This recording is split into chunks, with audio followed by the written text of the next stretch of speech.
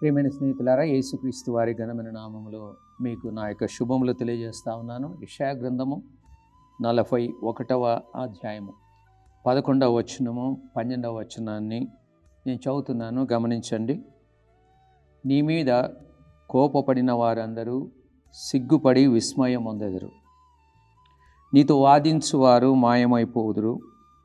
నీతో కలహించు వారిని నీవు వెతుకుతువు కానీ వారిని కనుగొనలేకపోవుదు నీతో యుద్ధము చేయువారు మాయమైపోవుదురు అభావులవుదురు. యశాగ్రంథం నలభైవ అధ్యాయం నుండి అరవై ఆరవ అధ్యాయం వరకు ఇస్రాయేల్ వారి యొక్క రెస్టరేషన్ గురించి దేవుడు మాట్లాడుతూ ఉన్నాడు.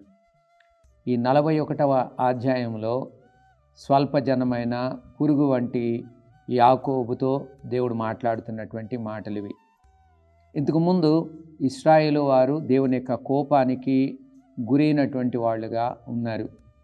దేవుని మాటకు వారు లోబడిన కారణాన వారు చెరకు అప్పగించబడినటువంటి పరిస్థితిని మనం దేవుని యొక్క వాక్యములో గమనించగలం. కానీ దేవుడు వారిని మరలా తిరిగి సమకూర్చబోతా ఉన్నాడు.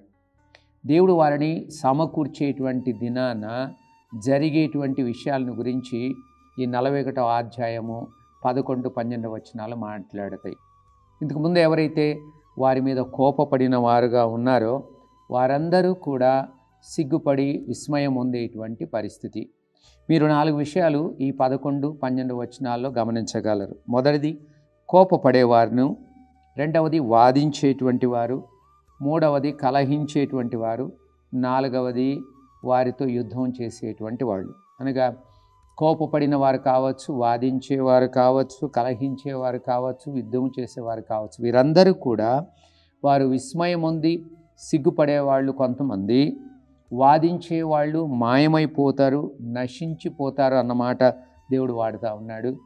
తనతో కలహమునకు వచ్చేవాళ్ళు లేకపోతే తనతో కొట్లాటకు వచ్చేటటువంటి వారితో దేవుడు మాట్లాడుతున్న అలాంటి వారిని దేవుడు మీరు ఒకవేళ కలహించాలని నాతో కలహించే వాళ్ళు ఎక్కడ ఉన్నారని మీరు వెతికినా కూడా వారిని కనుగొనలేని పరిస్థితిని దేవుడు కల్పిస్తూ ఉన్నాడు. యుద్ధం చేయడానికి కొరకు ఎవరు వస్తున్నారో వారందరూ మాయమైపోతారు అభావులు అవుతారు. ఇంకో మాటలు చెప్పాలంటే they shall be as nothing ఇంకో మాటలు చెప్పాలంటే దే బికమ్ నాన్ ఎగ్జిస్టెంట్ అన్నమాట. సో ఇక్కడంతా కూడా దేవుని యొక్క బిడ్డలకి అనగా దేవుని చేత ఏర్పరచబడిన వారు పిలువబడినటువంటి వారికి ఇవ్వబడినటువంటి వాగ్దానాల్ని మనం చూస్తూ ఉన్నాము. దేవుడు వారిని సమకూర్చే దినాన వారికి శత్రువులుగా జీవించినటువంటి వారు వారిని నాశనం చేయడానికి ప్రయత్నించిన వారు యుద్ధం చేయడానికి ప్రయత్నించిన వారందరూ కూడా వారు అభావులుగా మాయమైపోయి నశించిపోతారన్న వాస్తవాన్ని దేవుడు వారికి గుర్తు చేస్తూ ఉన్నాడు. ప్రేమైన స్నేహితులారు మీ జీవితంలో మిమ్మల్ని మిమ్మల్ని నాశనం చేయడానికి ప్రయత్నించేవారు కావచ్చు మీతో యుద్ధం చేయడానికి ప్రయత్నించే వాళ్ళు కలహించేటువంటి వాళ్ళు మీ మీద యుద్ధం చేసేటువంటి వాళ్ళు లేక మీ మీద కోప్పడేవారు. వీరందరినీ దేవుడు దృష్టిలో ఉంచుకుంటాడన్న వాస్తవాన్ని గుర్తుపెట్టుకోవాలి.